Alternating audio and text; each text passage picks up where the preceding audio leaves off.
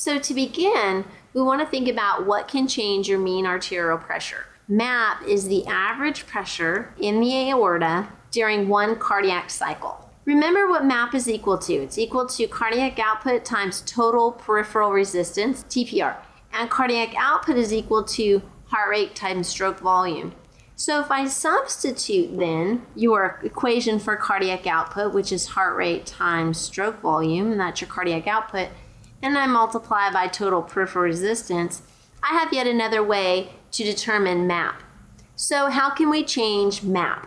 Because if I change heart rate, if I change stroke volume, or I change TPR, that will alter MAP. So how do we do that? We're going to talk about two different ways to do this. One of those is by increasing your cardiac output. So here, this is an increase in cardiac output. If I increase CO, that means I have more blood leaving the heart.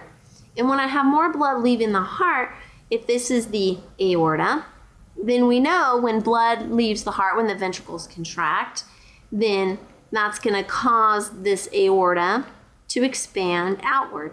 So here we're increasing cardiac output. So that's going to increase the volume of blood in the aorta.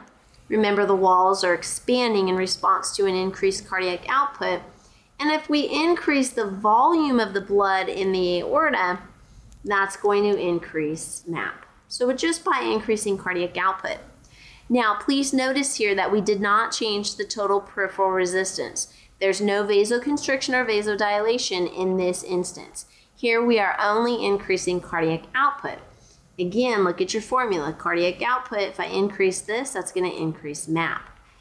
Now, let's try another option here, and that is let's change your total peripheral resistance. Let's increase it, but keep cardiac output constant.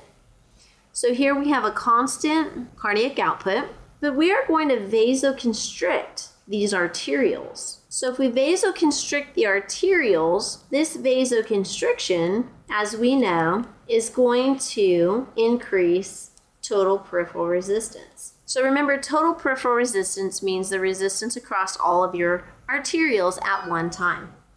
So if we increase total peripheral resistance, that's going to increase MAP. So that gives us two ways to increase MAP. You increase cardiac output or you increase total peripheral resistance. How do we regulate MAP? So we're going to be using neural and hormonal controls to do that. Here are the two ways to regulate MAP. So you have to keep MAP at a constant, right? You got to maintain homeostasis. You don't want it too high, you don't want it too low. All right, so the two ways to do that are through short-term regulation, which occurs within seconds to minutes, and then there's long-term regulation that occurs within minutes to days. All right, in short-term regulation, this involves baroreceptors. It also involves chemoreceptors, but we won't worry about those with respect to MAP.